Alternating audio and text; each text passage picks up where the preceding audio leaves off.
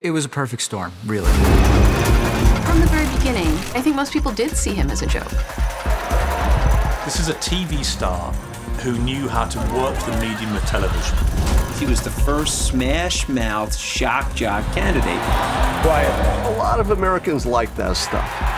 He had a resonance that transcended logic. It was emotional. He just said whatever came to his mind. Crude, hypocritical, dishonest. That's already baked into your understanding of who he is. Trump can survive the unsurvivable. And we'll raise you four or five Clinton accusers. as long as we keep responding as an audience, that's how they're going to try to win elections. Has our political framework changed? You can't go back now. The public has changed.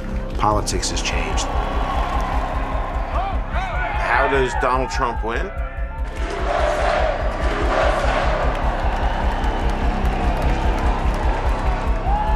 How does he not win?